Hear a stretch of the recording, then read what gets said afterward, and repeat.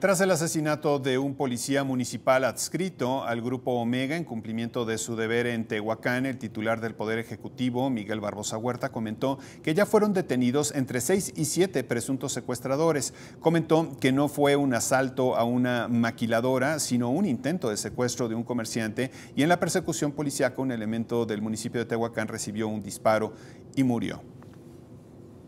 Y están detenidos seis personas seis o siete, seis hombres y una mujer o cinco hombres y una mujer. Los, que, los secuestradores están detenidos. En Tehuacán se vive tranquilo. Se mantiene una situación laboral, social, cultural estable.